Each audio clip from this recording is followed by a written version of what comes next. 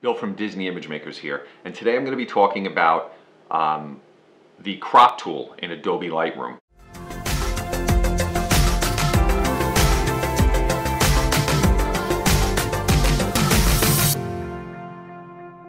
And we're going to go through it. It's going to be a quick video because it's a fairly simple tool, but it's something that you need to know how to use if you're going to use the program. Oh, well, I know how to crop. I do that on my phone. Why, you know, it's very easy to use. Well, you may need to be specific in how you crop. Maybe you have to crop something that's going to be printed at a certain size. Or maybe you want to crop the same image three or four different ways. Maybe for Instagram one way or your Facebook page another. Or maybe you want to have it printed at a couple of different sizes. So it's a tool that's, um, and it's also a, a way to straighten your images. So we're going to dive into the computer here and I'm going to run through the entire tool. It shouldn't take too long. And um, this way you have a working knowledge of the crop tool. So let's jump into the computer and I'm going to show you the crop tool in Adobe Lightroom. So I'm over here in the develop panel and I've made a few adjustments to the image and now I'm going to open the crop tool which is right here.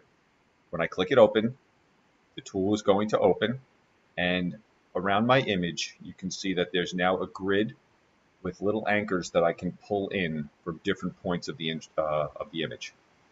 And I can pull this any way I want right now because right here next to the size is a little lock. And this lock, what it does is it locks the aspect ratio. So when you have this unlocked, it's basically a free crop. So when I have it like this, I can move this freely. And if I happen to come across, while I'm pulling it, a size that Lightroom recognizes, it'll show me. So this is a 4 by 6 right here. So if I stopped right here, it would be a 4 by 6 there's an 8 by 10, 11 by 14. So you get the idea with that. But you don't have to do it that way. What you can do is drop down this window. Now Lightroom is going to give you some sizes that are most common. So 1 to 1 would be a square, 8 by 10. And now once you click on a size that you want, let's say it's 8 by 10, you now have the ability to make that bigger. So you can choose what portion of the image you actually want to work on at that aspect ratio. So this is 8 by 10, 5 by 7, and so on. These are custom sizes that I've put in. So let's say I wanted to do a wide, almost panorama looking shot. So I could do a 2 to 1 crop. And you can put in any parameter that you want. If I wanted the crop to look like that, I would just hit done. And that's the part of the image I would be working on. Now, I didn't delete the other portions of the image. They're still there.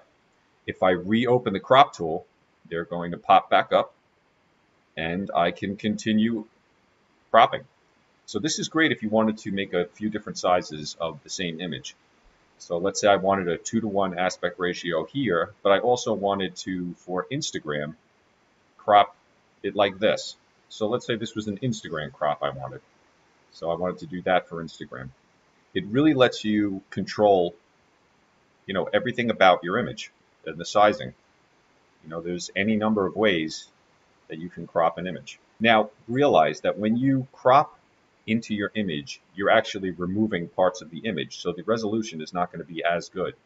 If you happen to have a high-end DSLR, this won't be a problem. I can crop in on this and still print a decent sized image from the pixels that are available to me in this small portion of the original image, which is this. If your camera does not have a high resolution sensor or you're using a cell phone or you're using a small point and shoot camera, what's going to happen is if you crop in like this, you're going to degrade the image and it's going to look pixelated around the edges. And if you print it out, it's probably not going to turn out too well. When you're shooting with your camera, if you don't have a camera that has um, a lot of resolution in it, then try to do your cropping in camera. And what I mean by that is try to frame the shot the way you actually want it when you're using your phone or um, especially at night because at night the images are going to be a little grainy to begin with, especially if your ISO is up. So you don't want to lose any more quality by actually chopping away some of the pixels. Um, you're not going to be able to blow up billboards and posters and things like that. But um, if you do use the whole image, you should be able to. So that's how this works here. So you, you can enter custom sizes and um, you can use the presets that Lightroom gives you. Let's see if we can find a different image. I'm going back into the develop module. Now this is straight out of my camera with no edits to it, but you can see the building is actually leaning to the right. When I open my crop window again, there's another tool in here, and that is to, you can rotate your image in here also. Very quickly in the crop panel, you can do that. And when you click OK, now you can see inside the box is going to be what you're left with. And when you click Done, it'll remove the other parts. Again, the same thing though. If you want to go back to it, it's there still.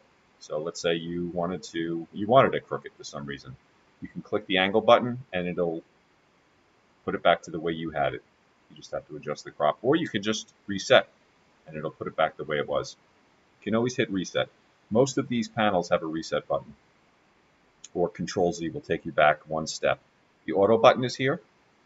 You can always try the auto button. There's an auto button in some areas of Lightroom and inside the crop tool, you can see what I did. I just clicked on it.